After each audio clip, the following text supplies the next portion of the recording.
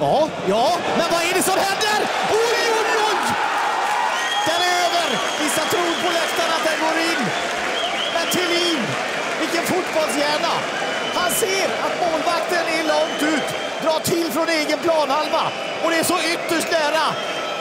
Årets mål, århundradets, årtusendets. Det är ju nästan